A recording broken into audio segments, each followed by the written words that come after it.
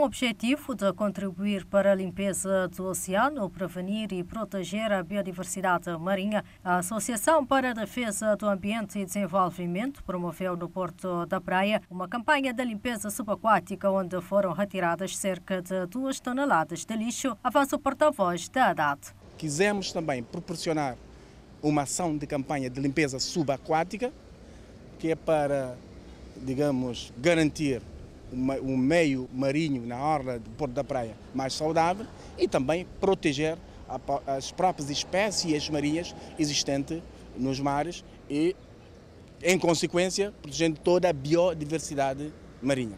Como é que foi esta campanha?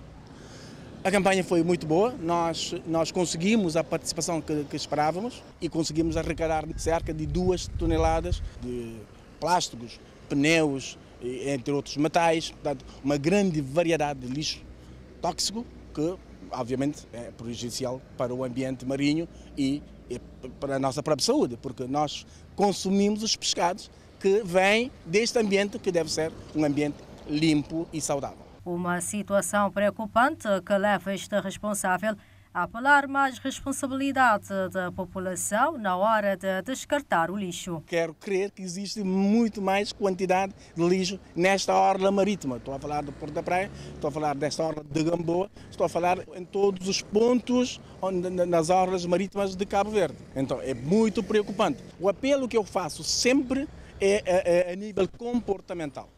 Se nós não mudarmos o nosso comportamento, nada, nada mudará. É preciso que preservemos o nosso mar e os nossos oceanos. Participaram desta campanha cerca de 40 voluntários, entre os quais mergulhadores profissionais. E esta é uma iniciativa que, segundo Aristides Reis, pretendem levar para outros pontos do país.